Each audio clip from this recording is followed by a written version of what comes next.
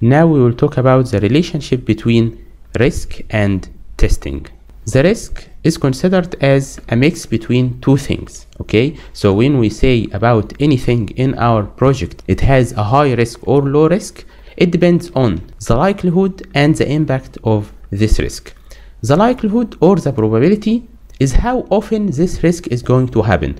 Does it happen every day, every week, every month, or maybe it never happens, okay? The impact is if this risk happens, what is its impact on our project, okay? How will we be affected by this risk, okay? So if we have a risk with low likelihood and low impact, so we can say about it, it is a low risk, okay? It has a low priority. But for example, if we have a medium impact and medium likelihood, so this is a medium risk. If the impact is high and the likelihood is high, this is a critical risk, okay? The threat is high and we have to do a mitigation strategy to face this risk. We divide risks into two types, project risks and product risks. Project risks are the risks that surround the project capability to deliver its objectives, okay? So we have a project and we have some risks that we may encounter in our project. But the product risk means areas in the product itself, areas in the software that may have failures in them, okay? So like we said, project risks talk about things in the project itself. We can divide it into three types of risks. Organizational factors. So these are risks dealing with the organization, the communication between the employees. Like skills, we have employees with low skills. This is a risk. Like training, employees don't have enough training on techniques and technologies used like staff shortage someone left the company and we have a staff shortage or problems of communication the second category of project risks is technical issues. So these are technical issues in our project that may delay it or reduce its capability of delivering its objectives. Like we have a problem in requirements. Like the test environment is not ready. So here the test environment. If the test environment is not ready the product will not have failures but it will be delayed in its release. This delay is considered as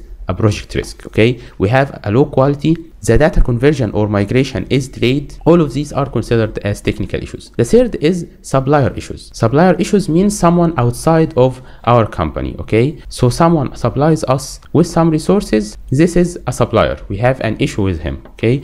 Or failure of a third party. My company is the first party and the client is the second party. The third party is someone who is between us and gives value to both of us. If this person fails in delivering what we need this is a project risk that may delay us.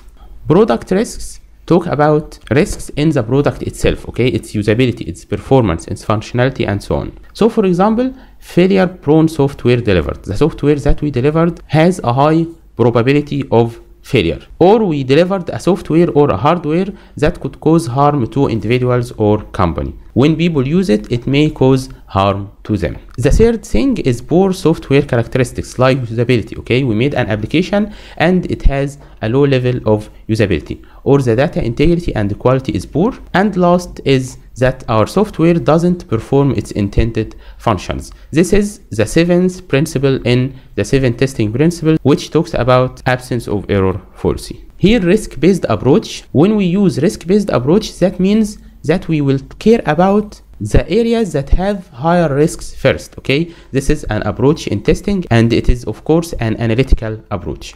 So this is considered as a proactive approach. Why? Because I think about the future and I act upon my thinking about it. So in this approach, I reduce the level of product risks in the initial stages of our projects. Here, of course, we identify the risks in our project and we identify their likelihood and impact so that we can prioritize them, which guides me in test planning and control.